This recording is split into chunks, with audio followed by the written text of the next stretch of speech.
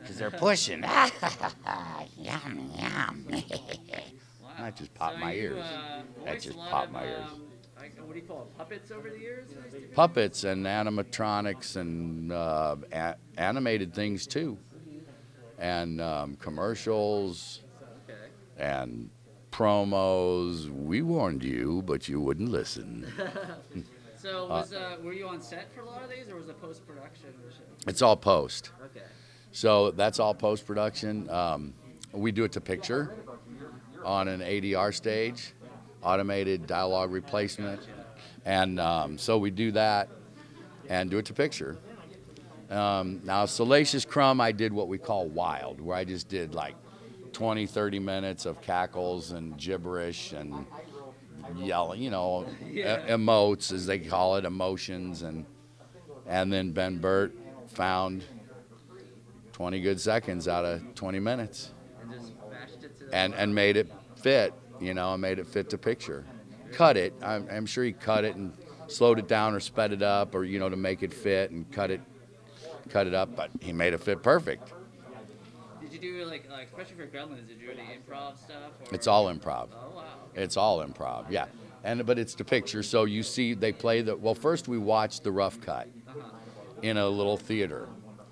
Um, watch the rough cut, and then we talked about you know who's going to do what, and then we came back the next day, and um, then as we do it to picture, we'll we'll watch like 15 seconds, 20 seconds, 30 seconds of the movie of the scene or maybe it's a whole minute. Maybe we'll watch the whole scene. Actually, we'll watch the whole scene, but then we'll go and just do 10 seconds of it at a time. So we'll watch it again. We have, and then it'll be what what what would he say there? What should he say?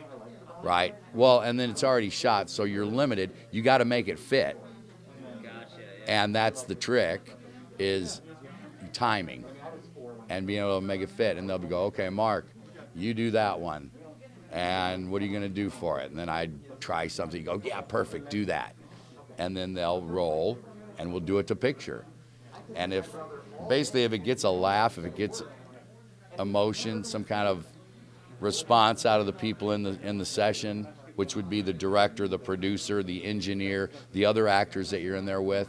If you get a response, it's like, okay, that's working. Let's maybe try another one. Let's try this, try that. Then they play it back to picture. Then they they, they make it while we sit there. They put it they put it to picture on the spot.